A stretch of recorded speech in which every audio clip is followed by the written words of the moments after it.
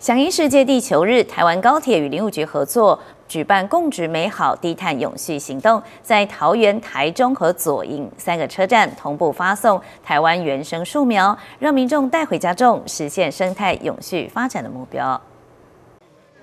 高铁桃园站今天举办“共植美好赠树苗”活动，准备了一千两百株台湾原生种的树苗分送给民众，透过他们之手，一起来美化大地。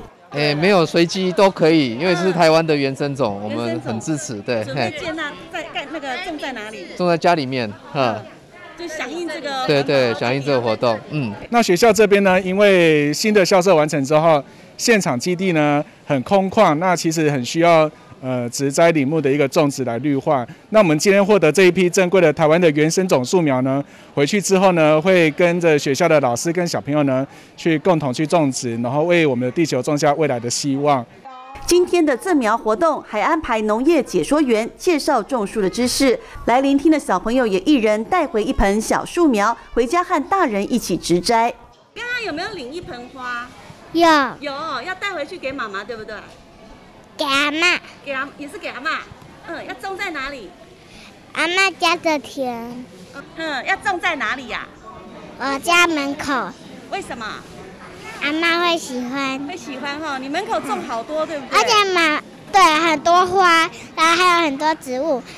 响应世界地球日，台湾高铁与林务局合作，同步在桃园、台中以及左营站发送树苗，总共送出三千六百株，将这些小树苗种植在合适的地方，让台湾的未来绿意盎然。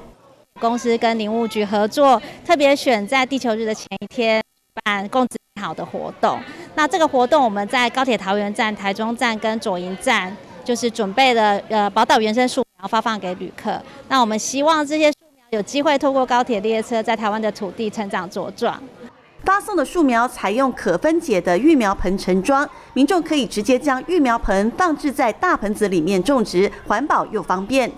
那照顾的时候呢，其实三五个月会建议移一下角度，让日照的角度不同，植栽照顾日照的方向就会不一样。这些方法不是针对某些植物，而是所有的植物应该都会可以适用。